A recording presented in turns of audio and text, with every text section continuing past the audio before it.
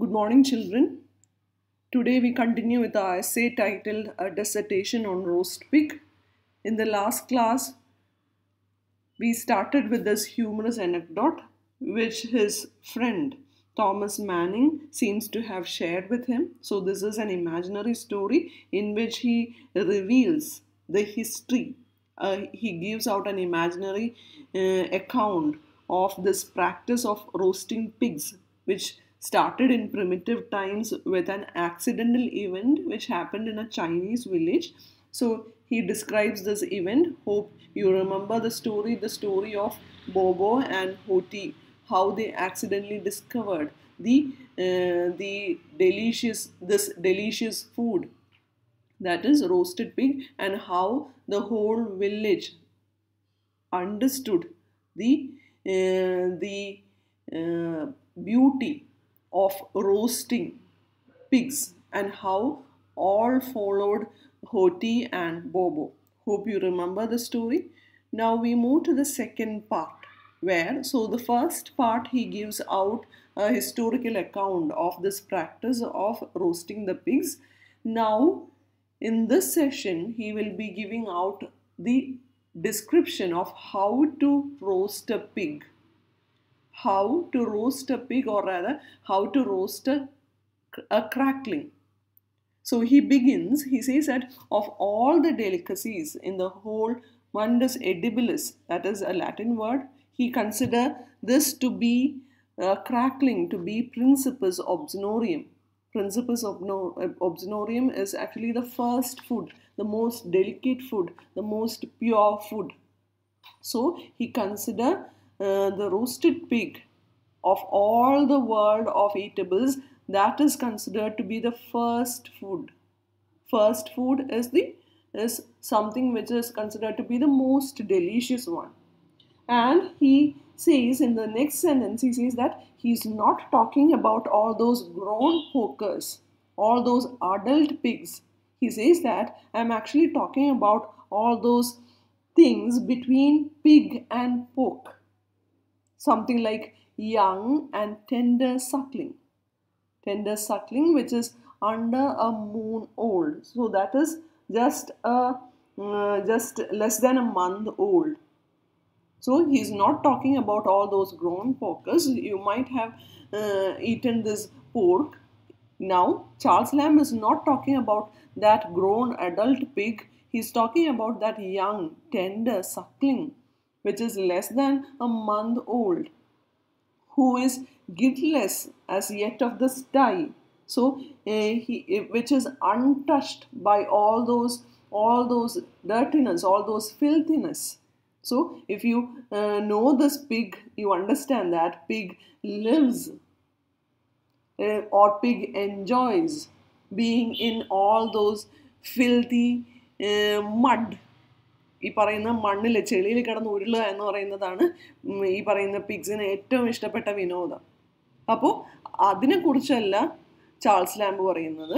Charles Lamb he says that he is not talking about all those grown porkers he is talking about all those hobbledehoys hobbledehoys is all those young awkward looking but young pigs which is between between pig and pork, and which is untouched by all those filthiness, with no original speck of amor, immunito. Amor immunito. It is another word, another Latin word which means the love for filthiness. Love for filthiness. That is, you see, that is what you see in all those pigs and he says that that is something like a hereditary failing of the first parent. Something the first parent of the pigs might have committed. Just like our adam and eve their hereditary failing was they disobeyed the uh, our god. So that kind of failing failure might have happened to this first parent of these pigs. That is why they love filthiness and he says that, and then he describes this young pig. Their voice, their voice is not yet broken. So you have this broken voice. So if you consider human beings, when you uh, in a man, these boys suddenly they have this broken voice when they become adult, and then later they get this mature voice. If you know a boy, you will understand. ഒരു ആൺകുട്ടി ചെറിയ ഇതിലുള്ള ഒരു പത്ത് പന്ത്രണ്ട് വയസ്സാകുമ്പോൾ suddenly their voice get broken and then later they get this mature voice so here he talks about the voice of these pigs he talks about all those young pigs whose voice is not yet broken and it should be something between a childish treble and a grumble something like the mild forerunner or preludium. Preludium is prelude, something which comes before a grunt. So usually all these pigs grunt. He talks about all those voice with, with, which is between treble and grumble. The voice which is not broken. So he's talking about a really young pig which is less than a month old. And what does he want? He says that he must be roasted. So that is something which is very cruel from a delicate soul like Charles Lamb. You will not imagine a delicate person like Charles Lamb uh, giving out a cruel description of roasting a young pig. We will be surprised to hear these words from a, a very delicate person very caring person like Charles Lamb. So this is, is another phase. And please remember, he's giving out a kind of a humorous description. He's uh, moving into an area which he is not familiar of. As I said earlier, his usually his uh, his essays were a kind of a blend between pathos and uh, humor. Here he completely uh, moves into this realm of humor alone. And he succeeds in it. He gives out a kind of, he uh, makes this audience or the readers get a boisterous laugh. So here he talks about this young pig which must be roasted. And he says, I am not ignorant that our ancestors ate them seethed or boiled, but what a sacrifice of the exterior tegument. So he says that I know that our ancestors used to eat the, these uh, crackling or young pigs, but they either seethed or boiled. So these are the different version of boiling. Seethe is to boil, while boil is to heat up to the point where Uh, where it becomes it turns it turns into something like a dark brown color.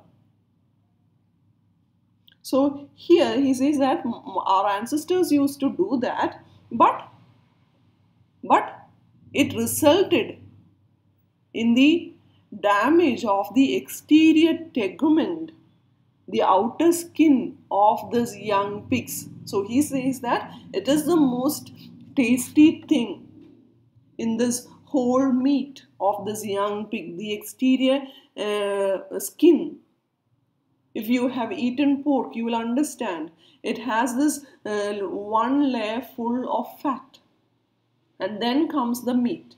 And when it comes to the case of young pig, pigs, the exterior skin or the fat is more uh, like he says that he compares it to something like a cream something like a quintessence quintessence. So he says that that flavor is not at all comparable. He says that that crisp tawny well washed not over roasted crackling. So it is something like a pleasure. He says that the very teeth are invited to the share of the pleasure this banquet. So our teeth gets that immense uh, indulgence in that immense pleasure of biting that that uh, heavenly food He says that it is something like coy, brittle resistance. Coy, brittle resistance with this adhesive oleaginous.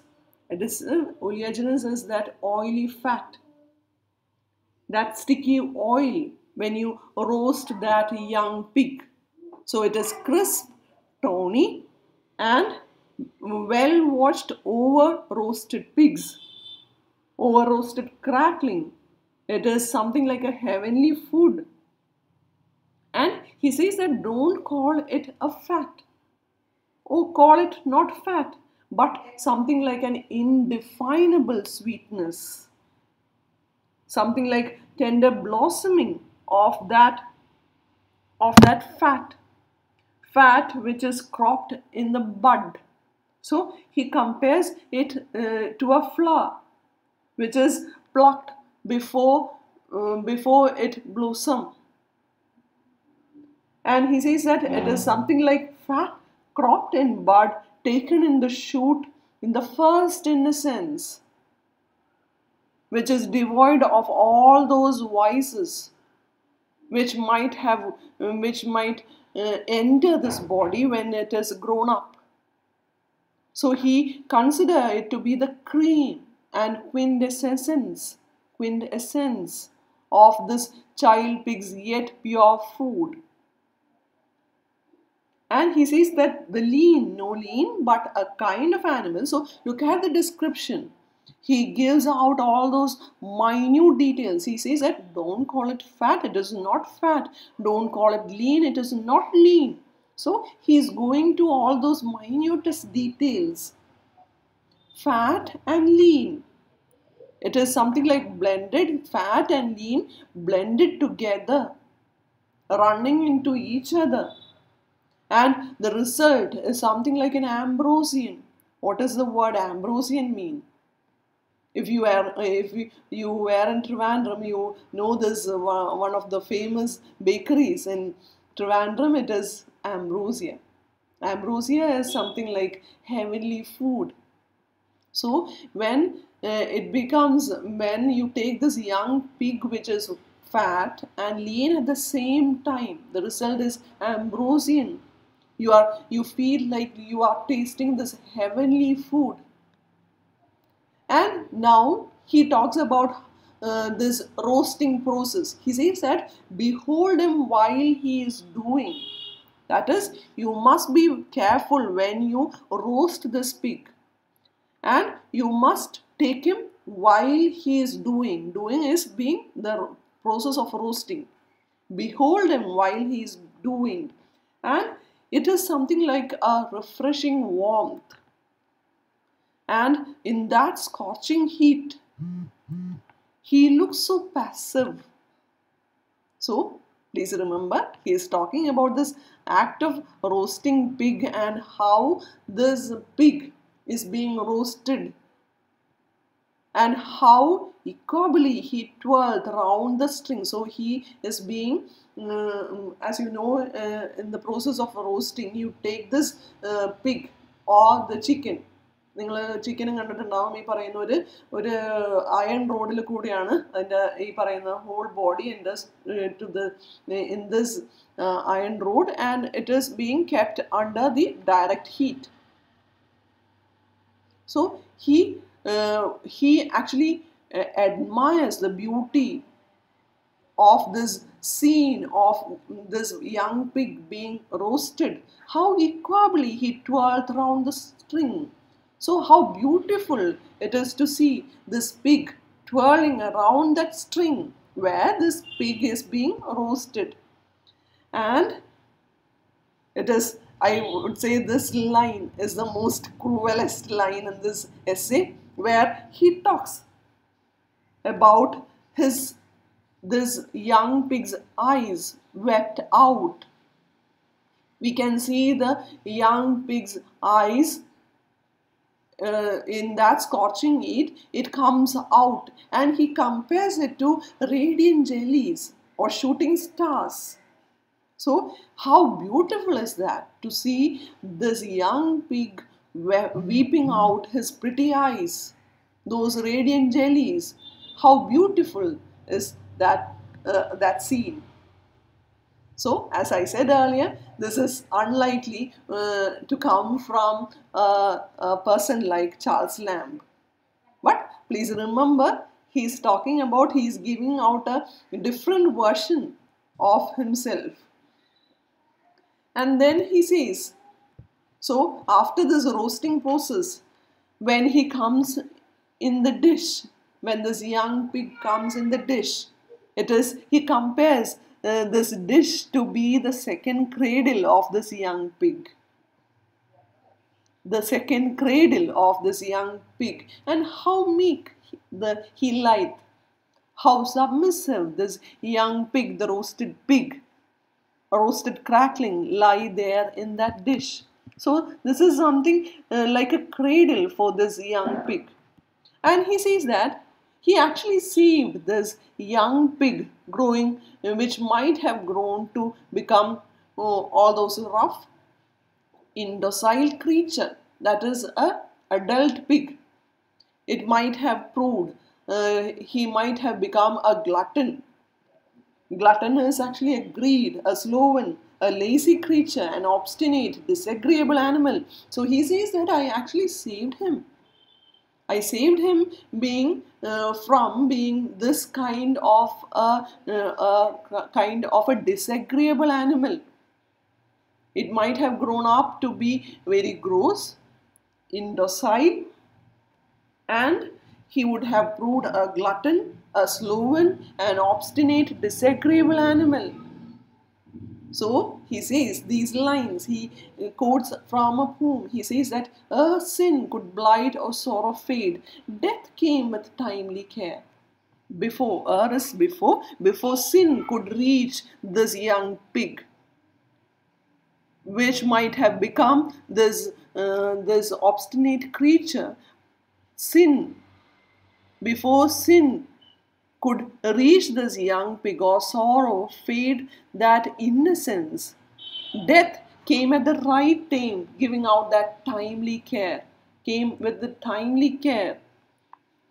So he says that he actually saved these young pigs growing up to that indocile creatures to become swines, to become adult pigs. And he says that his memory is odoriferous Odoriferous is sweet smelling. Even the memory of that roasted pigs. It is sweet smelling. ഇല്ലേ നമ്മൾക്ക് ഏറ്റവും ഇഷ്ടമുള്ള ഭക്ഷണം നമ്മൾ ആലോചിച്ച് കഴിഞ്ഞ് കഴിഞ്ഞാൽ we get the smell of that that food so he says that even the memory is so sweet smelling and he says that all those young, uh, adult pigs, they even uh, all those, uh, he says that no clown cursed while his stomach half reject the rank bacon. So all those adult, uh, adult pigs. So eating that adult pig, it is something which our stomach will reject. Even the clowns, even all those coal heavers, coal miners. So all those coal heavers, there are uh, these are people who do, does lot of hard work. കുറേ ഈ പറയുന്ന ഭയങ്കരമായ ജോലി ഭാരമുള്ള ആൾക്കാർ അവർ according to Charles Lamb അവരിങ്ങനെ എന്ത് കിട്ടിയാലും തിന്നും എന്നുള്ള ആൾക്കാരാണ്. അങ്ങനെയുള്ള ആൾക്കാർക്ക് പറ്റിയതാണ് എന്ത്? ഈ പറയുന്ന ഈ പോർക്ക് അല്ലെങ്കിൽ അഡൽട്ട് പിഗ്സ് എന്ന് പറയുന്നത്. But this young pig or crackling he hath a fair sepulchre in the grateful stomach of this judicious epicure. He says that he has a fair, a fair sepulchre. The young pigs or those cracklings have a, a great sepulchre. Sepulchre is actually a tomb. Where is this tomb? Tomb of these young pigs is the stomach of this judicious epicure, a man who uh, has this aesthetic sense, a person who eats judiciously, who loves food, ആസ്വദിച്ച് കഴിക്കുന്ന ആൾക്കാർക്ക്. So he is comparing this this two types of people ആൾക്കാർ ചില ആൾക്കാർ like he says like coal heavers coal miners clown they eat for the sake of of of eating food അതായത് അത് they never enjoy eating eating delicious food they need only food to um, uh, fulfill their hunger. But here young pigs or those crackling is meant for that judicious epicure. Epicure is a person who is in love with something. So uh, so for those people this young pigs are meant. It provides their stomach provides a fair sepulchre so that is the right tomb their stomach is the right tomb for all these young crackling and now so he says that for such a tomb might be condemned to die അത്രയും നല്ല കല്ലറയുള്ള ആൾക്കാർക്ക് എന്തുകൊണ്ട് മരിച്ചുകൂടാ they will be so happy to die നിങ്ങളൊന്ന് തന്നെ ആലോചിച്ച് നോക്കുക നല്ല എനിക്ക് നല്ലൊരു കല്ലറ വിചാരിച്ച് I am so happy that I have a great sepulchre waiting for me. So that is actually very ridiculous to say. So he says that. And then he continues. He gives out a comparison between pineapple and this crackling, roasted pig.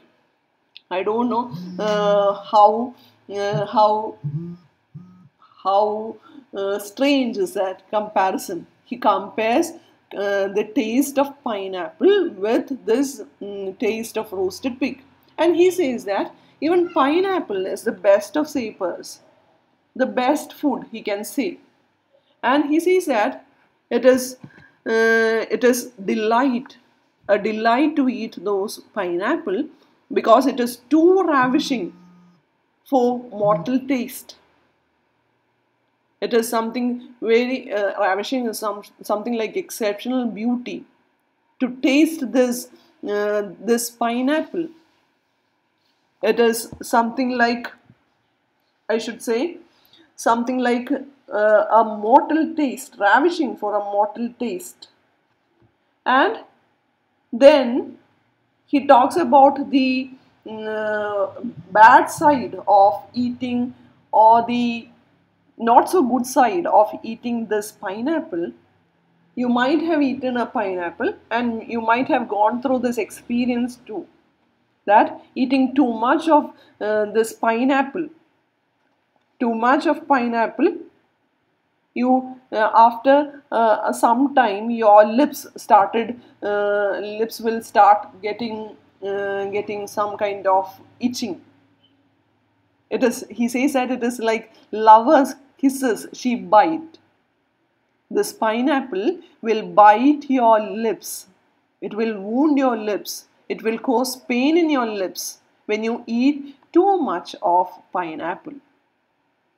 So it is something like pleasure bordering on pain which comes from the fierceness and insanity of her relish fierceness.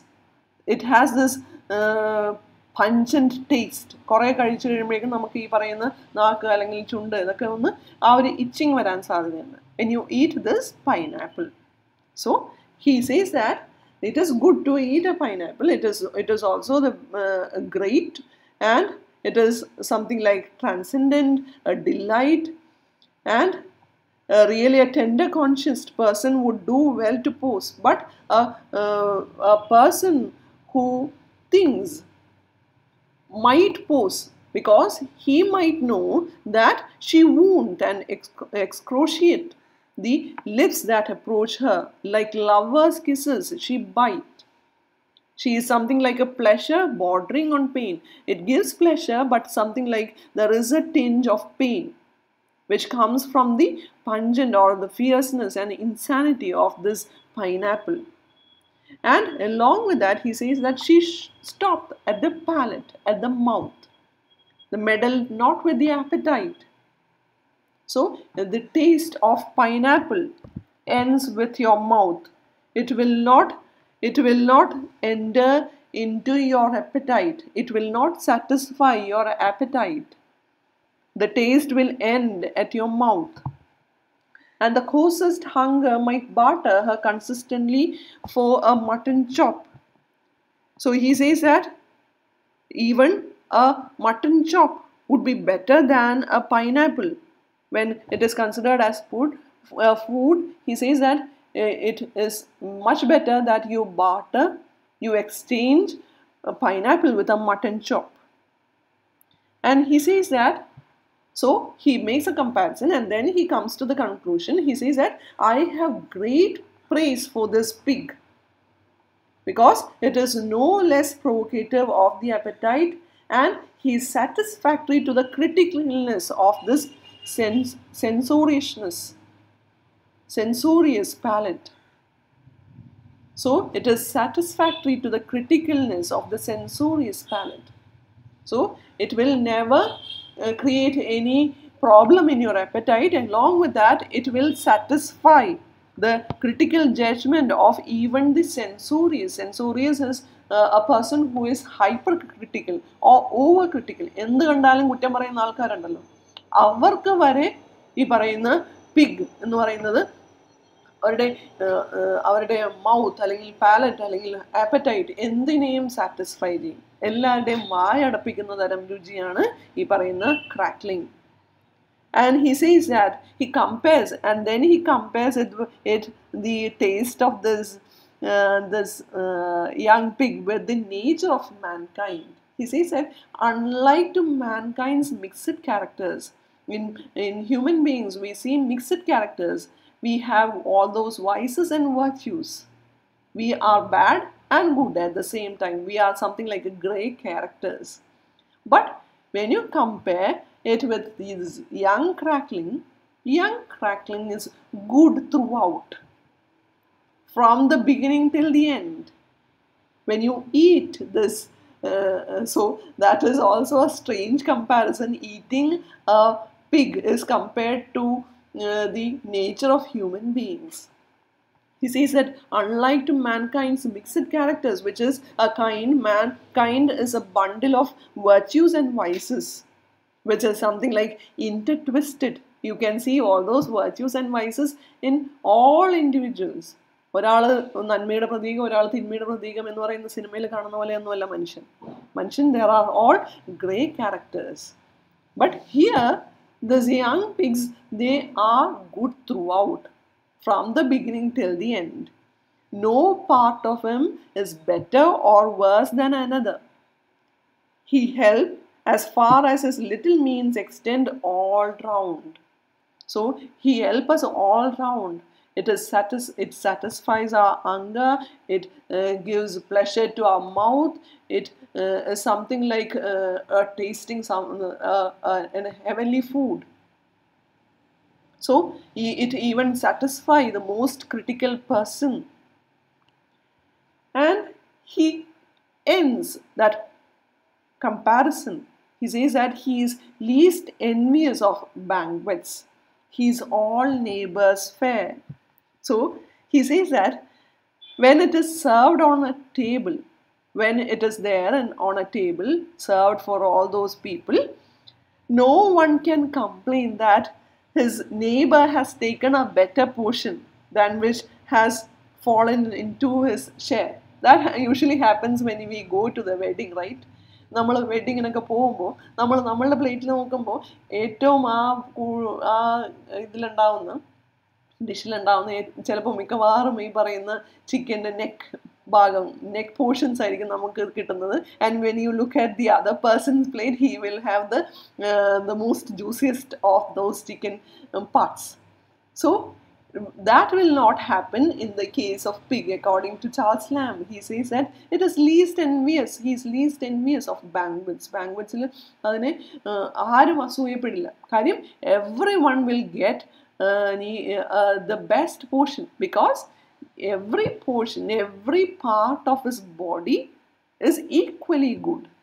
So here ends this a description of how to roast a pig and how to eat a pig and how better how it is uh, how uh, he thinks this is the best of all of all mundus edibilis of all those world of eatables. So i'm stopping here my dear girls.